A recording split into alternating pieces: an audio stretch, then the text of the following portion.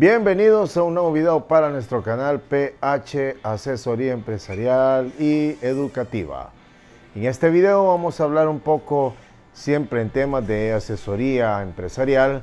Vamos a enfocarnos a un tema que no quizás mencionamos mucho, pero que es muy importante y que el día de hoy incluso en una asesoría que teníamos salía eh, ese tipo de estrategia que a veces hay que tomar cuando se van a abrir nuevos emprendimientos. Entonces, ¿de qué vamos a hablar?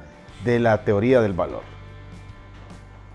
La teoría del valor, pues, si lo vemos desde el punto de vista económico, hay muchas escuelas eh, que abonan un poco sobre los conceptos y cómo establecer precios en un mercado natural y competitivo. Pero para variar un poco, vamos a hablar sobre las teorías de la escuela austríaca.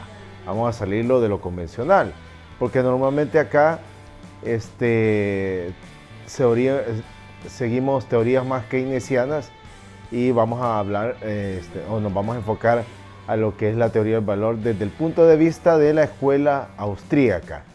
De la escuela austríaca pues nos podemos acordar por ejemplo de nombres como Hayek, Mises, este, que son de los más reconocidos en el área eh, de temas, valga la redundancia, de, de valor económico. Entonces vamos a partir del hecho en, en, el valor precio.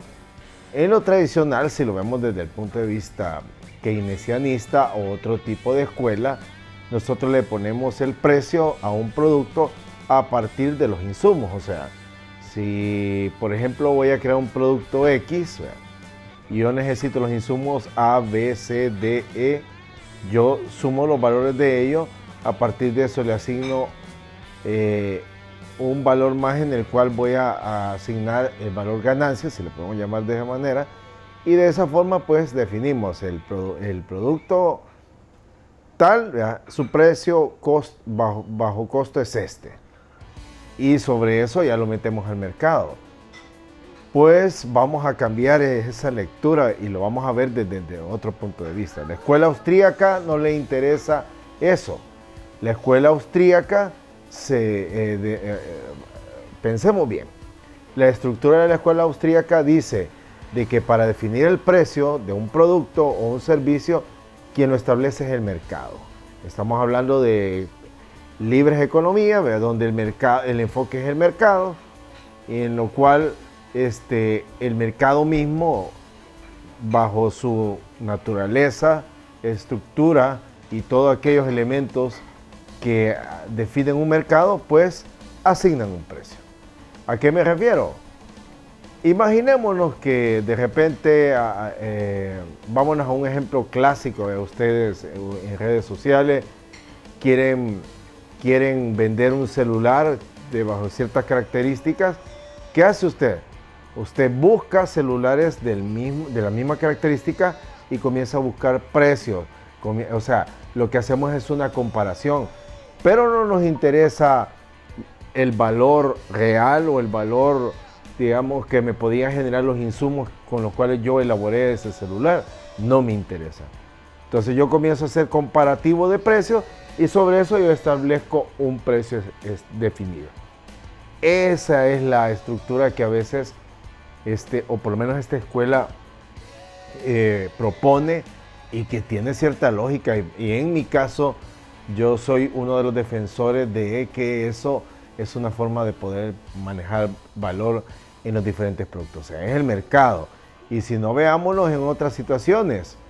Eh, si aquí viene un artista famoso, por ejemplo, y el artista famoso eh, puede ser que a mi gusto personal, yo no daría pero ni un dólar por irlo a ver, pero otra persona sí va a dar 100 dólares por ir a ver eh, eh, ese concierto.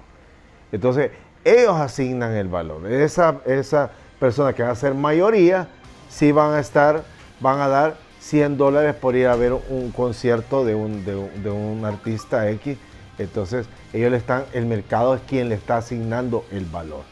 O sea, yo ahí no me interesa cuánto vale el boleto, cuánto es el alquiler del local, cuánto me va a cobrar el, el, cantar. O sea, eso es lo de menos. O sea, quien establece el precio en específico, como lo vuelvo a aclarar, es el mercado.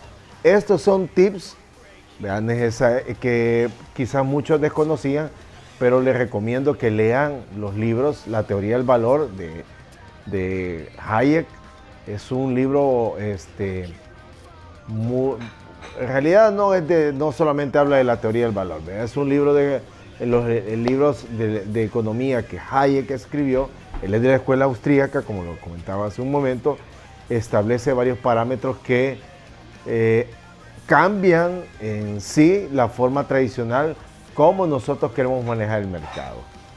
Eso hace más, da un poquito más de libertades al consumidor, o sea, al, en el caso de oferta y demanda, a que exista una regulación donde el mercado es el que decide precios, o sea, nadie, nadie altera el valor, sino que es una decisión entre el vendedor y el comprador. Este es una, uno de los temas que pueden ustedes interesarle y que de alguna manera lo podemos aplicar ya en la vida real cuando queremos emprender, asignar precios, pues lo mejor es tratar de ver precios y sobre eso estimar y considerarlo a mi capacidad. Y eso nos va a permitir no solamente el hecho de tener precios competitivos, sino que de alguna manera yo ya me voy a enfocar, por ejemplo, a asegurar la calidad de un producto o un servicio más que en la asignación del precio. Así que si les gustó el video, por favor no olviden compartirlo, por favor suscríbanse a aquellos que no lo han hecho y además hay que darle clic a la campanita para que les lleguen las notificaciones de los videos que hacemos semana a semana y en este día pues hemos hablado de un tema de carácter eh, económico financiero, pero vamos a estar hablando de otros temas que van a ir apoyando estos son tips, son pequeños, pero que de alguna manera nos pueden ayudar a hacer mejor las cosas. Así que de mi parte agradecerles y nos vemos en un próximo video.